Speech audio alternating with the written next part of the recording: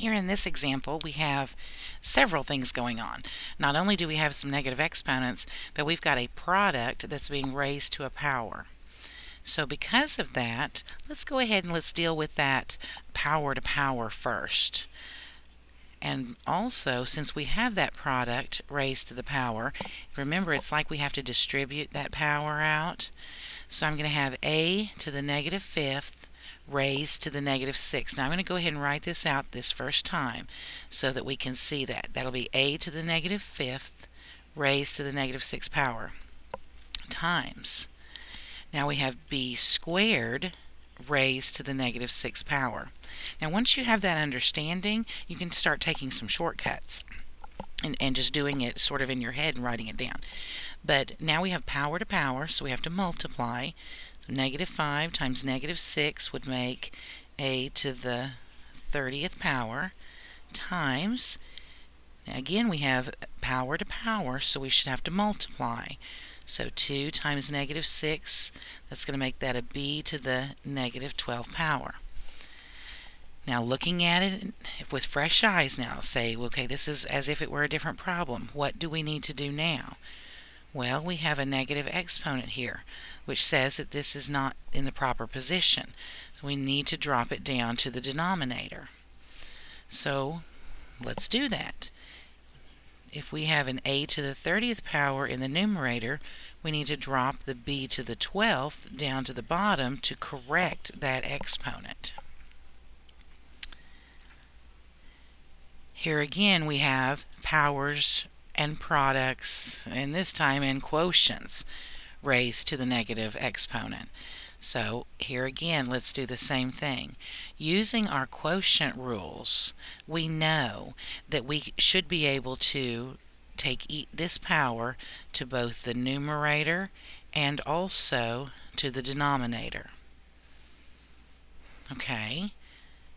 Because inside here, we have a product and we also have a product on top. That means that if you ignore this bottom part of the problem, doesn't this look exactly like this problem did? Absolutely. Now we're just adding in that denominator there. But we're going to do the exact same thing. So let's try and do this without writing it out like we did in this last one.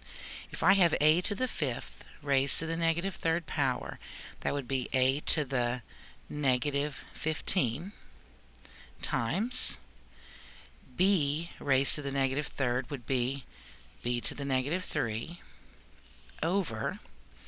Now here on bottom I've got a to the seventh raised to the negative third which would be a to the negative 21 and we have b to the negative 2 raised to the negative 3 so don't forget to multiply those. Negative 2 times negative 3 would be a positive 6 now we've taken care of that nastiness, but we have a lot of negative exponents left.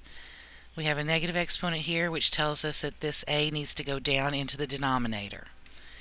So that is truly a to the 15th on bottom.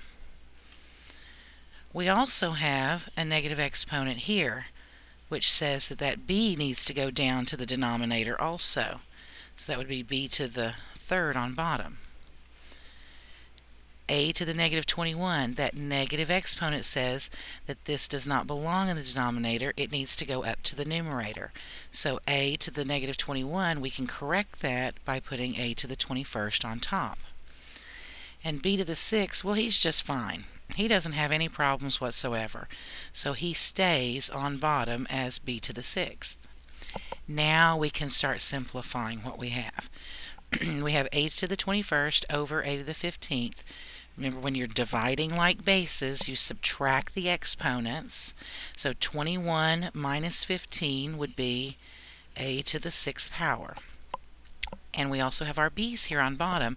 We're multiplying like bases, so we're supposed to add the exponents. That would be b to the ninth power. And that is how that would simplify.